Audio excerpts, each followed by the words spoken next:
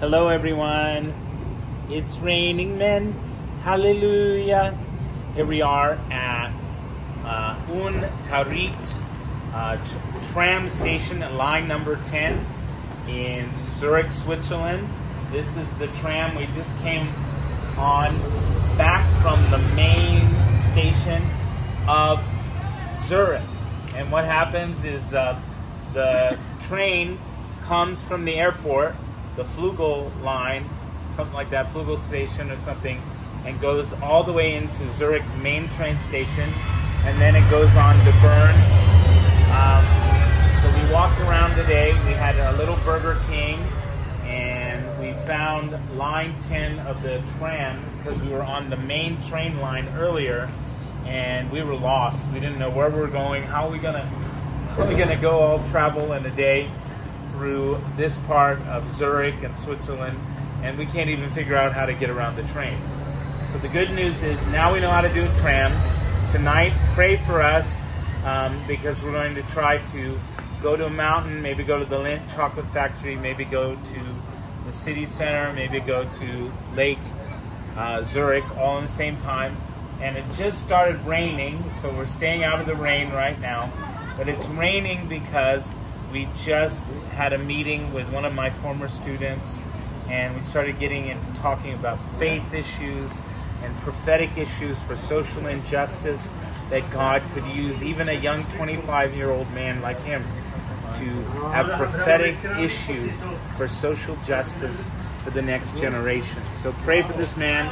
Even as I'm talking about God touching a man, he told the man, the young man, that I especially came to this city, flew around the world, spent a fortune so that I could come and pray for him and his girlfriend and his future and his family and pray that God will be with him. God will use him. Even now as I'm praying, the rain is coming down. We were able to tell stories of the Holy Spirit's presence touching people, about falling under the power of God by the hundreds of praying, going to church every night, worshiping in intercession. That is the promise for Zurich, and that is the promise for Switzerland. That is the promise for Europe. So pray with me. In Jesus' name, worry has to go. In Jesus' name, forgiveness comes. Healing comes. People who are in prisons that are receiving prison ministry now in Switzerland, they will come to the Lord. The lost will be found. Those who are selling themselves or who have been sexual trafficked will come to the Lord. There will be a healing. The people that are coming that are from different religions and only think about money and only think about power and violence, you will break that darkness in Jesus' name. Worry has to go. The demonization and victimization has to go. In Jesus' name. Hallelujah. Hallelujah. Hallelujah. Jesus in Zurich. Jesus in Switzerland. Jesus in me. Jesus in you. Everyone, let's love one another. Bring courage one another. Pray for one another forever.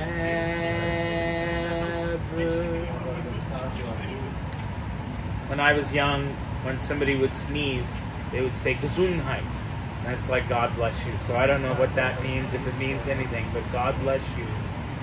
Keep believing. The Lord has a plan for your life, and it's going to be a long plan and a long life. Do the studies you need to do, make the risk and investments you need to do. God is with you. Be bold, be strong, for the Lord your God is with you. We love you with the love of the Lord. We can see in you the glory of our King, and we love you with the love. We love you with the love. We love you with the love of the Lord. Uh, some things I've noticed.